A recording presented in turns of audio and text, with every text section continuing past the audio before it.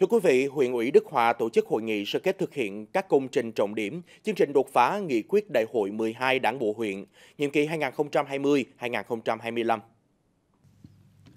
Đối với ba công trình trọng điểm của đại hội, đến nay, huyện đã thi công hoàn thành một công trình, trong đó công trình đường kênh Cầu Duyên đã thi công hoàn thành và đưa vào sử dụng vào tháng 1 năm 2023. Đường Ba Sa Gò Mối dài 5 km, nền đường rộng 9 m, tổng vốn đầu tư trên 93 tỷ đồng, thi công đạt 65% khối lượng hợp đồng. Đường tỉnh 823D dài 14 km, nền đường rộng 32 m đến 40 m, tổng vốn đầu tư hơn 1.654 tỷ đồng. Đến nay đã bàn giao mặt bằng suốt tuyến cho đơn vị thi công đạt tỷ lệ 100% và đang thực hiện công tác bố trí tái định cư cho người dân trong vùng dự án. Về bốn chương trình đột phá ngay từ đầu nhiệm kỳ, Ban Thường vụ quyền quỹ thành lập các ban chỉ đạo để lãnh đạo triển khai thực hiện các chương trình, công tác chỉ đạo điều hành, giám sát thực hiện bốn chương trình được thực hiện chặt chẽ thường xuyên. Qua đó, các chương trình đột phá đều đạt nhiều kết quả tích cực, góp phần cho sự phát triển kinh tế xã hội của huyện.